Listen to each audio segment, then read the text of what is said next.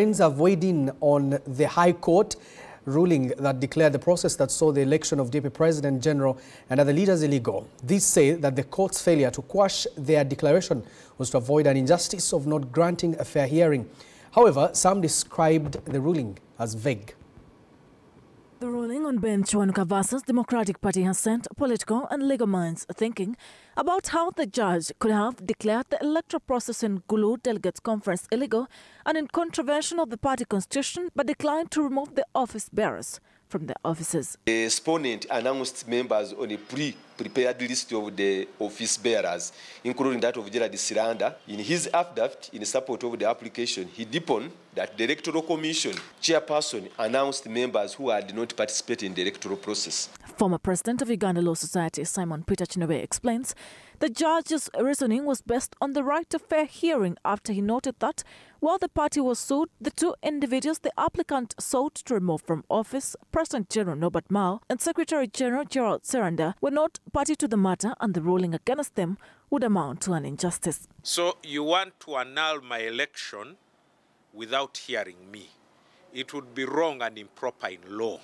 However, constitutional lawyer George Musisi, interpreting the judgment, argued that it left speculation to the applicant, asking him to go back to court for remedy he sought.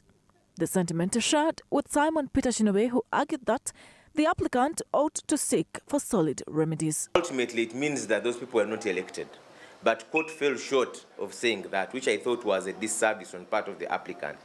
And I think it's one of those cases where the applicant should go to court for consequential orders. The applicant now can uh, use or seek other remedies where the individuals who was complaining about um, uh, are given a chance to be heard.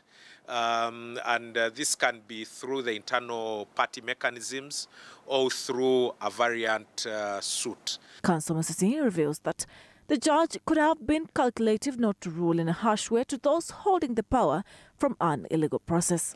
Uh, maybe didn't want to rattle. I don't want to, to speculate. Maybe didn't want to rattle the, the waters. Maybe he thought that, uh, but then, then again, that would have been a failure on the part of court because uh, courts are under duty to administer justice to all. The two legal brands, however, clarify that for as long as court did not quash their occupants in the office, they remain in leadership until the applicant seeks a remedy that throws them out of office. They still legitimately occupy the same. However, if challenged the proper way, the proper legal way, based on this judgment of court, their positions can be quashed.